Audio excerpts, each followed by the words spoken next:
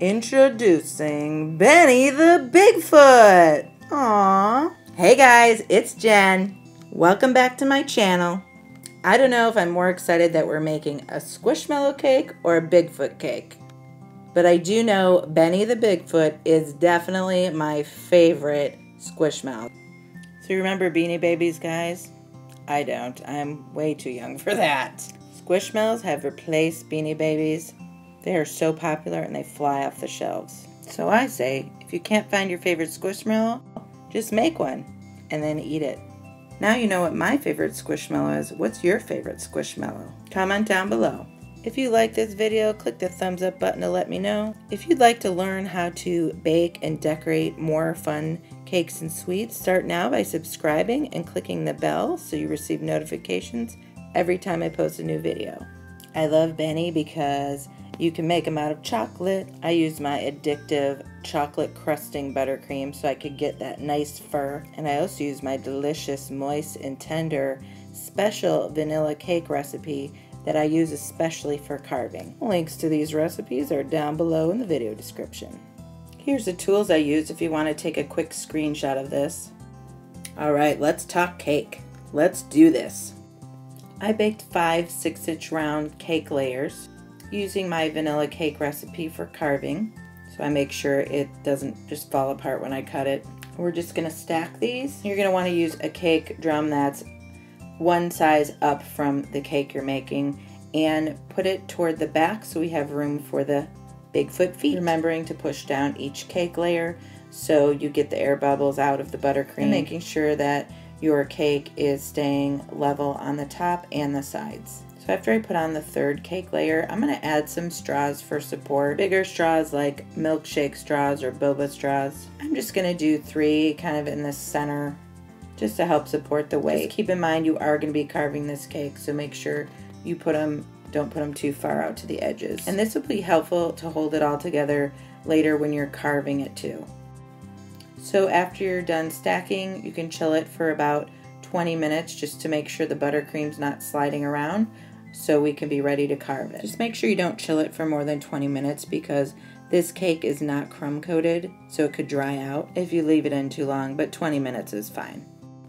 So this Squishmallow demand is insane. My daughter's like, we have to get to the mall as soon as it opens, or the Squishmallows will run out. So we get there five minutes after they open, and there's only one left. And this other little girl is walking out with my daughter's favorite Squishmallow. So we follow this nice family to the parking garage, and I offer them cash money, because that's how I roll. Now, I didn't do that. I'm not a real housewife. All right, our cake is chilled, so now we're going to carve it remembering to carve just little pieces at a time because it's a lot easier to take more off than to put some back on. So it's easier to carve something two-dimensionally than three-dimensionally. So I like to carve the sides out and then the front and back out and then meet the sides with the front and the back. And to keep track of where my front, back, and sides are, I make a cross at the top of the cake. I also like to think of my cake as a grid so I can see that halfway down is the widest part of my cake. And it should gradually curve to the top of my cake. I should end up about a quarter of the way in. For example, if you'd like more detail on carving cakes, I have a video, five secrets to carving cakes into shape, and I'm actually carving a squishmallow in this video as well. It's just a mini Mickey Mouse squishmallow. So they basically have the same shape. You know what I was thinking? Why do they call Real Housewives real? That's not real. What's real is strategically picking out your pajamas Friday night so they could borderline pass as an outfit on Saturday because what you really want to be doing on a Saturday is binge watching your favorite TV show in your pajamas eating your favorite cereal. Now that's real. Why does that sound so good to me right now? I am totally going to binge watch after making this cake. Who's with me? All right, now that our cake is all carved, we're going to crumb coat that. And I like to save my cake scraps and put them in a Ziploc freezer bag and freeze them to make cake pops later. Now the way we're going to frost these curves is by using a flexible blade. So I just buy a roll of acetate and I cut out my tool myself. Make sure you cut it out that the factory edge is your blade because this is going to be the straightest line. Spreading your fingers out to control the curve. And you're gonna want your blade shorter than this. I just exaggerated it in the picture so you could see. After our crumb coat's done, we put it in the refrigerator for 20 minutes to chill. And then we can go ahead and frost it. And if you'd like more detail on this, you can watch my video, 5 Secrets to Frosting Curves. Alright, now that this is frosted, we can put this in the refrigerator. Then next, we're going to make our Bigfoot face. There are so many different names for Bigfoot. Even within different states of the United States, there's different names, but most commonly it's Bigfoot, Sasquatch, Yeti in Asia, Yowie in Australia. Let me know in the comments what country or state you're from and what you call Bigfoot. So first we're going to make our black buttercream, so we'll have it ready when it's time to pipe the mouth. All you have to do is add some black icing color to a little bit of your chocolate frosting. As we make the face, this will oxidize so the black will deepen in color even further. I drew the face on parchment paper with a pencil so I can use it as a guide to cut the face out of fondant. So my cake's about seven and a half inches tall and a little more than six inches wide. So I went with a three inch by four inch face. So I just measured out and drew the marks and then made an oval within those parameters. And I actually used a piping tip to make the circles. I traced the smaller end of a 1A piping tip, which we'll use later to cut out the eyes. And if your oval doesn't end up perfect, no worries, we can always cover it with hair. That's the beauty of nature. It is imperfect. Same with the face too, if things don't end up exactly symmetrical, I just think it ends up making it even cuter. Gives it character.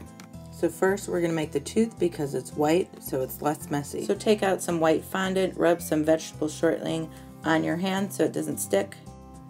And knead this and warm it with your hands until it's softer. Then we're going to roll it into a ball. Dust our work surface and fondant roller with cornstarch. Start rolling it out. And we're just going to hand cut this with an X-Acto knife. It's just a triangle, so it's not that hard of a shape to make. And we're going to round the edges just a little bit with our fingers to make it look more like a tooth. Then set that aside, put it under a little plastic wrap, to keep it moist while we're making our other pieces. All right, next we're gonna make our eyes. I just buy a little black fondant because it's a pain to color fondant black. So do you know there's been over 2,000 sightings of Bigfoot just in Washington state? And in the southeast of Washington, there is a county called Skamania County that actually has a law in the books against hunting Bigfoot. The Pacific Northwest has the most sightings in the United States, so it makes sense that this law would be in Washington. Then I wonder is this the chicken or the egg? Maybe Bigfoot came to Washington because they made the law. Hmm. I'm a thinker, you guys. I am a thinker. All right, now that our eyes are done, you can go ahead and put those under a piece of plastic wrap. Now it's time to make the actual face. So let's grab some white fondant and we're going to color this with a little bit of ivory icing color because Benny's face is kind of an off-white. And then same thing, roll it out, not too thick, not too thin. Then I'm going to put the piece of parchment paper that I drew Benny's face on, put it on top of the fondant and use it as a guide to cut out that oval. We're going to add all the pieces of the face now because it's a lot easier to add it on a flat surface than when it's on the cake but we want to do it pretty quickly because we don't want the face to dry too much because we need it to stay flexible. So go ahead and put a little water on the back of the eyes and place them. And I cut the piece of parchment paper at the mouth so I could use it as a guide to make a little indent with the X-Acto knife so I could pipe the mouth the way I want it to. Oh, I hate when this happens, when the piping line breaks I could have edited this out, pretend like it never happened, but I'm keeping it real. All right, last but not least, place that cute little tooth. Right, let this sit just for about like five minutes just to make sure everything's stuck on there. All right, time to get the cake out of the refrigerator and dip a brush in some water and just wet down the area where you're gonna put your face. and then carefully place it. I like to start it kind of at the top and slide it down into place. And we're using a crusting buttercream and it's chilled so it shouldn't stick until it gets to the wet part. Then put that in the refrigerator for at least 10 minutes make sure it's really stuck on there. And now it's time to pipe the fur. And I like to start with piping it around the face first. In this row, I'm piping the fur from the face outward. So the fur looks like the stuffed animal where it's kind of pushed away from the face. So I really want to know, do you believe in Bigfoot or not? Comment down below. And if you have any Bigfoot stories, please share them. I love hearing these stories. They're so fun and mysterious. And then after I do that first row around the face, I like to get a little messier with it because I want the fur to look realistic. A little trick I have to make that happen is I'll pipe one piece straight up and then the next piece pull to the right, then the next piece straight up, and then the next piece pull to the left. And just keep repeating that pattern. I like to make some a little longer, some a little shorter. So I'm using a tip number 234, which is great for fur. And you really got to make sure you build up the buttercream first before you pull it away so the fur actually sticks to the cake. So after you build up a little buttercream, keep the pressure on the piping bag, start slowly pulling away, and when the fur is to the length you'd like, then stop pressure and quickly jerk the bag away. And if your hand gets sore, and it will, stop. Take a break as soon as your hand gets sore. I've learned this lesson many times. Trust me. If you take a break, your hand will be fine the next day. If you don't, it'll hurt for like a week. And then just keep doing this about halfway down the entire cake. And then it's time to do the ears. For this piping motion, you're going to build up the buttercream and then your piping bag's to go a little bit upward and over itself and you're going to want to hold the squeeze longer to get longer hair. Always pulling downward because that's where you want the hair to be flowing. So your hands kind of kind of move in like a top of an S motion and then drag straight down. And you're going to want to build up the buttercream on top of itself where the ears are thicker. Okay, can I just say how cute you are, Benny? Oh my gosh, you're so cute. And you smell so good and you are going to taste so good. Have you guys ever seen the movie Harry and the Hendersons? If you haven't, bucket list movie, you have to watch it. So I probably shouldn't be telling you this, but I've got a little bit of a Harry and the Henderson situation going on at my house right now. More of that in a minute. This Bigfoot needs some feet. So we're going to make these out of Rice Krispie treats because they taste the best. So we're gonna melt 10 marshmallows in the microwave for one minute and immediately mix that in with four cups of Rice Krispie treats. As soon as these Rice Krispie treats are cool enough where they won't burn your hands, you can go ahead and start sculpting them. Rub some vegetable shortening on your hands like lotion so they won't stick to you. So the trick to sculpting these is to really pack them together tight. So I like to roll it in a ball, like a two inch ball, really tight and then start sculpting it. So think of baby booties when you're sculpting these. You also have to think about how the back of these feet are going to fit against the Bigfoot body. So I'll just check them against the cake and just make adjustments as needed. One quick tip for where the pads of the feet are going to be, that you're going to want almost flat. So an easy way to do this is just push it against the countertop to flatten it. And once you have one foot done, it's a lot easier to sculpt the second one because you can kind of just match it up to the first one. I made the feet approximately one and a quarter inches wide by one and a half inches tall. And when you're done sculpting them, you can go ahead and frost them with your buttercream. Again, using our acetate tool. And I use a tip number 47 to apply the buttercream. So we're friends with this cryptozoologist and he asked us if we can watch his new dog. He said, It's a Great Dane mixed with a poodle, so it's pretty big. Is that okay with us? And we're like, Sure, we love dogs.